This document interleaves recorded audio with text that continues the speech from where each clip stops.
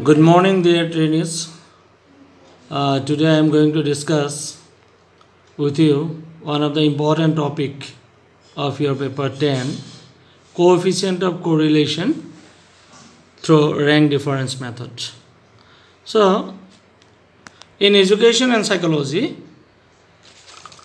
coefficient of correlation is very essential because if we want to know the different attributes of individual or abilities of the individual we have to know the correlation of two sets or between the two subject so there are two methods of computing correlation. One is rank difference method another is product moment method. The rank difference method is the coefficient of correlation computed by this method is known as rank correlation coefficient as it, as it considers only the rank of the individual. It is popularly known as Spearman coefficient of correlation because this method was developed by Spearman, a psychologist belong to England. So today I am going to discuss the rank difference method or how to find out the coefficient of correlation by using rank difference method.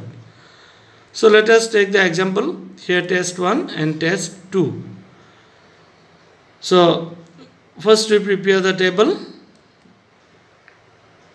So see here we put first serial number 1 to 8 and in test 1 the marks are given test 2 marks are given.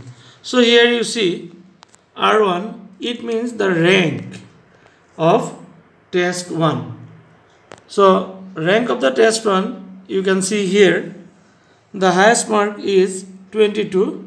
So 22 is rank 1 then second is 21 he is placed second position then third 20 fourth 19 then fifth is 18 then you see uh, 17 is 6 then uh, 16 is 7 then 15 is 8 total number is here 8 so this r1 means rank 1 it is of it is there from test 1 so from test 2 in the similar way we are calculating the rank of the individual. So here first rank scored by third number of individual 51 then 46 2 then 45 3 43 4 then uh, 42 5 then you see here 41 is scored by two individual.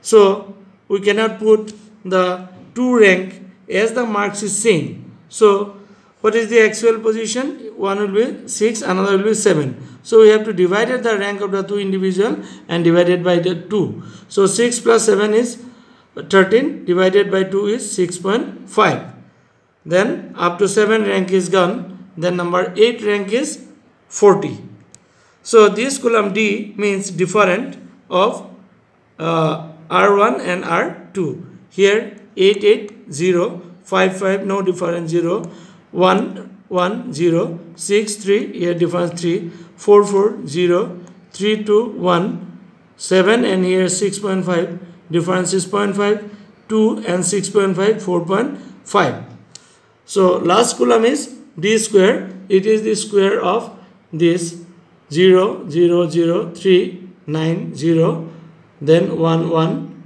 0.5 0.25 then it is 20.25 so now, uh, sigma d square means summation of the column 30.5. So, in this way, we first prepare the table. I think uh, all of you have understood it. The table, how we calculate? In rank 1, we first find out the rank of test 1, then rank 2 from test 2, then D is the difference of column R1 and R2, then last one is the square of column D. Now we place the value in the formula. So this is the formula you see. This is not this is rho.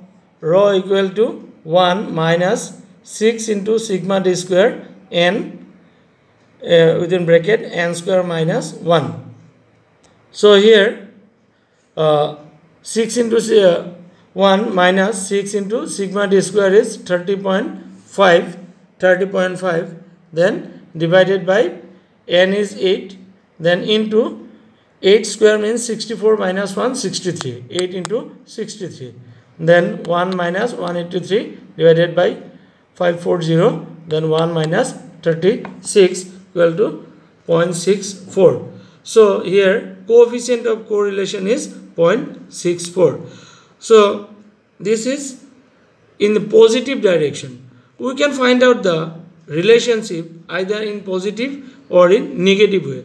And relationship is always ranges from 0 to plus minus 1 not above this up to plus minus 1 so i think all of you have understood this. So thank you. Stay home. Be safe